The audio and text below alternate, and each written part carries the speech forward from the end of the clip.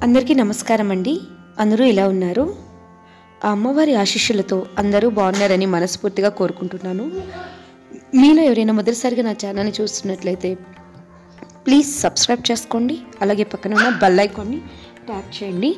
దాని ద్వారా నేను అప్లోడ్ చేసే ప్రతి వీడియో కూడా మీకు మిస్ కాకుండా వస్తుంది.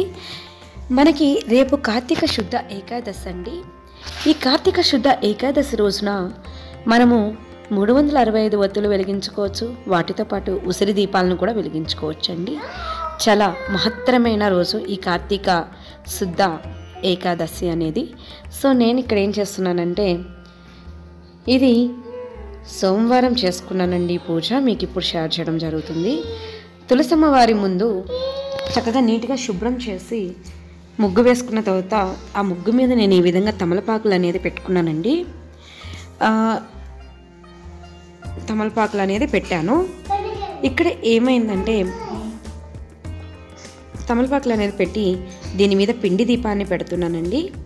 ఈ పిండిది కుందిలాగా చేసుకున్నాను. దీనిలో నేను మూడు వందల అరవై ఐదు ఒత్తులు పెడతానమాట వీటిని ముందుగానే నెయ్యిలో ఆవు నేతలో ఈ విధంగా నానబెట్టానండి. నానబెట్టిన తర్వాత అలాగే గుబ్బ ఒత్తులు మామూలు దీపారాధన ఒత్తులు అన్నీ నానబెట్టుకున్నాను. ఈ మూడు వందల అరవై ఐదు ఒత్తులు కూడా ఈ విధంగా నానబెట్టి ఉంచానండి. వీటిని ఇందులో ఉంచుకోవాలి. అలాగే గౌరమ్మను కూడా మనం చేసుకోవాలండి వినాయకుడిని కూడా పెట్టుకోవాలి.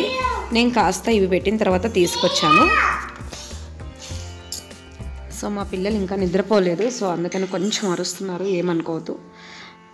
సో ఇలా మనం చేసుకున్న బియ్య పిండిలో పెట్టుకుంటే మంచిదన్నమాట. బియ్య పిండి కుందిలో పెట్టుకుంటే మంచిది. ఇప్పుడు మనము ఈ బియ్యపు కుందిలో కూడా దీపారాధన చేసుకుంటే చాలా మంచిదండి. అందుకనే ఇందులో వెలిగిస్తున్నాను. అలాగే ఉసిరి దీపాలు ఎలా పెట్టాలనేది ముందు వీడియోలో ఉంది చూడండి. ఆ ఉసిరి దీపాలను మనం ఇలా తయారు చేసుకుని దానిలో గుబ్బ ఒత్తులు ఈ విధంగా పెడుతున్నానండి. ఆవునేతితో పెట్టినవి. మీరు ఈ కార్తీక శుద్ధ ఏకాదశి రోజున ఈ విధంగా చేసుకోవడం వల్ల మీకు అఖండ పుణ్యం అనేది లభిస్తుంది. ప్రస్తుత పరిస్థితుల్లో మనం ఎవరైనా టెంపుల్స్కి వెళ్ళి చేసుకునే సిచ్యువేషన్ లేదు కాబట్టి మన ఇంట్లోనే ఈ విధంగా చేసుకోవచ్చండి. తర్వాత ఇక్కడ గౌరమ్మను గౌరమ్మను పెట్టానండి. గౌరమ్మను పెట్టి గౌరమ్మకు కుంకుమ బొట్లు పెడుతున్నానండి.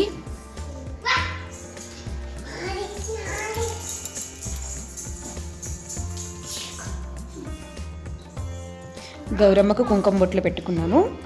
పెట్టుకున్న తర్వాత దూదితోనే ఇలా వస్త్రాన్ని తయారు చేసుకోవాలండి. దీన్ని గౌరీ అమ్మవారికి సమర్పించుకోవాలి. ఈ విధంగా మనం సమర్పించిన తర్వాత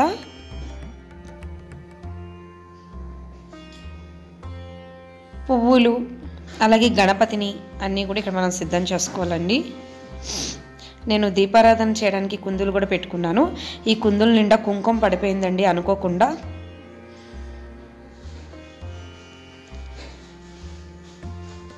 గణపతిని కూడా ఇక్కడ ప్రతిష్ఠ పెట్టుకుంటున్నాను. నా దగ్గర గణపతి విగ్రహం ఉంది కాబట్టి పెట్టుకున్నాను లేని వాళ్ళు గణపతిని చిన్న పసుపు ముద్దల్లో చేసుకొని పెట్టుకోవాలి. గణపతి లేకుండా ఏ పూజ మనం చేసుకోం కదా. ఇలా నేను రెడీ చేసుకున్నానండి దీపారాధన చేయడానికి ఇట్లా. ఈ విధంగా అన్నీ కూడా ఇక్కడ పూజ దగ్గర ఇలా సిద్ధం చేసుకున్నాను. సిద్ధం చేసుకున్న తర్వాత శుక్లం భరతరం అన్నీ చెప్పుకున్న తర్వాత ముందుగా అమ్మవారికి ఇవి దీపాలండి. ఫ్రెండ్స్ ఇక్కడ నా దగ్గర ఉన్న వాటితోటే నేను పూజ చేసుకుంటున్నాను. సో నేను ప్రత్యేకంగా ఏమీ కొని చేసే సిచ్యువేషన్లో లేను. ఎందుకంటే మా హస్బెండ్ లేరండి. నాకు కావాల్సినవన్నీ తెచ్చివ్వడానికి ఆయన ఊరు వెళ్ళి వారం రోజులైంది. మళ్ళీ ఎప్పుడు వస్తారో కూడా నాకు తెలియదు ఆయన ఒక అనుకోని పరిస్థితుల్లో ఊరు వెళ్ళవలసి వచ్చింది. నేను అందుకనే ఇలా ఉన్న దానిలో చేసుకుంటున్నాను. నా పరిస్థితిని అర్థం చేసుకుంటారు అని భావిస్తున్నాను. గణపతికి ప్రా మనము పదకొండు నామాలు చెప్పుకున్న తర్వాత గౌరీ అమ్మకి గౌరీ అష్టోత్తరం చదువుకోవాలండి. అలాగే చదువుకొని పూజ చేసుకోవాలి. లేదా మీరు ఇక్కడ శివ అష్టోత్తరం కూడా చదువుకోవాలండి. ఇప్పుడు ఓం నమ శివాయ ఓం నమో నారాయణాయ అనుకుంటూ ఉసిరి దీపాలను వెలిగిస్తూ మూడు వందల అరవై ఐదు ఒత్తులను కూడా వెలిగించాలి. ఈ మూడు వందల అర అరవై ఐదు ఒత్తులను ఎందుకు వెలిగిస్తాము అంటే మనము ప్ర సంవత్సరంలో ప్రతిరోజు కూడా దీపారాధన చేయటం అనేది మనకి సాధ్యం కాదండి.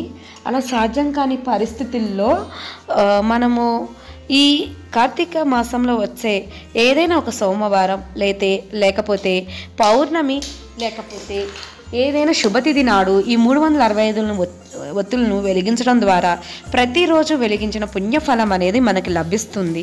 ఒక్కరోజు చేసినా సరే సంవత్సరానికి సరిపడా దీపారాధన మనం చేసిన ఫలితం అనేది మనకి లభిస్తుంది.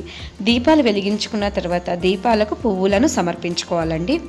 అలాగే ఉసిరి దీపాలు వెలిగించడం కూడా ఈ ఉసిరికాయ ఉసిరికాయలను కూడా అమ్మవారి అమ్మవారి వరప్రసాదాలేనండి. వీటిలో దీపారాధన చేయడం వల్ల కూడా అమ్మవారి అనుగ్రహం మనకి త్వరగా సిద్ధిస్తుంది.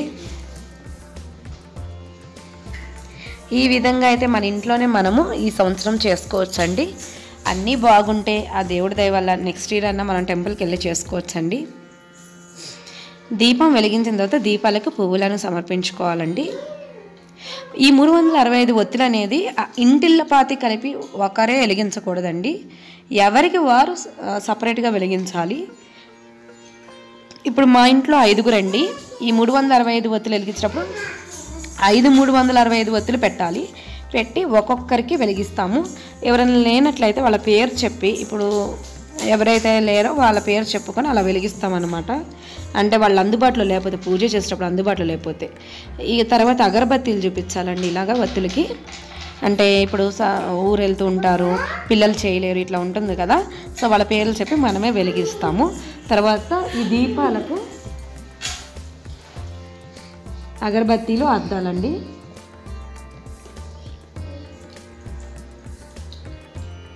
రేపు ఏకాదశి తిథి రోజు కూడా మీరు ఈ విధంగా చేసుకోండి తెల్లవారుజాముల్లో.